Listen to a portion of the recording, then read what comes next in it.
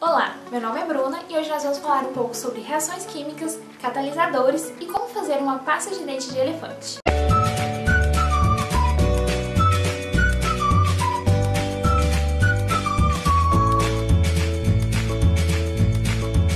Aqui no canal você já deve ter visto o conceito de reações químicas e como elas funcionam.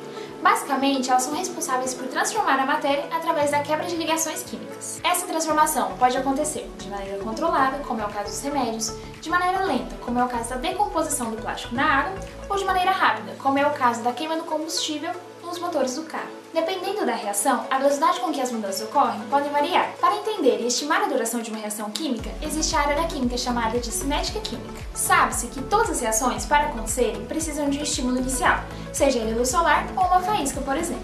Essa energia inicial, chamada de energia de ativação, é responsável também por indicar com que velocidade essa reação vai acontecer. Se ela for muito alta, a reação é lenta. Se ela for um pouco mais baixa, a reação é rápida. Às vezes, apesar de uma reação lenta ser útil, é necessário que a reação seja mais rápida. Mas será que tem como acelerar esse processo? A resposta é sim, utilizando um catalisador. Os catalisadores aumentam a velocidade ao reduzir a energia de ativação da reação. Além disso, ao introduzir o catalisador na reação, ele é consumido e depois regenerado, não interferindo no produto final da reação, ele só está lá para acelerá-la. Vamos pôr a mão na massa e ver o catalisador em reação? Para realizar o experimento, vamos precisar de luvas, recipiente plástico, pode ser uma bandeja ou um pote de sorvete, copo alto com a boca estreita, pode ser até uma garrafa, colher de sopa, detergente líquido, corante líquido, água oxigenada de 20 e 40 volumes e uma colher de sopa de fermento, que vai funcionar como catalisador na nossa reação, pois a decomposição da água oxigenada é muito lenta.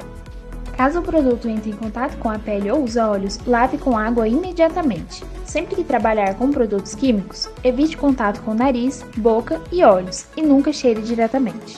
Coloque o copo sobre o recipiente plástico, para evitar que a pasta caia diretamente sobre a mesa. Adicione 10 ml de detergente no copo.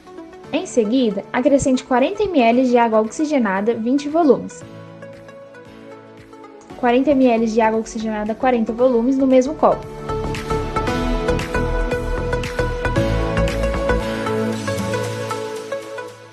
E o corante, da cor de sua preferência.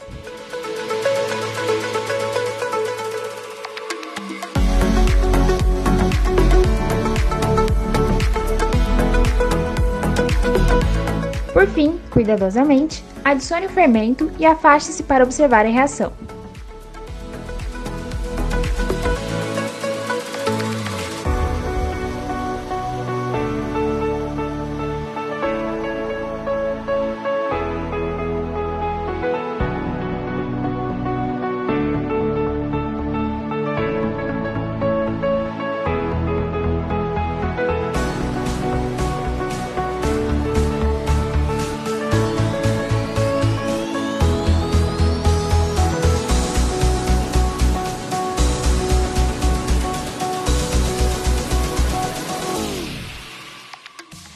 Por hoje é isso. Divirta-se fazendo pasta de elefante com diferentes cores e diferentes catalisadores. Obrigada por assistir e até a próxima!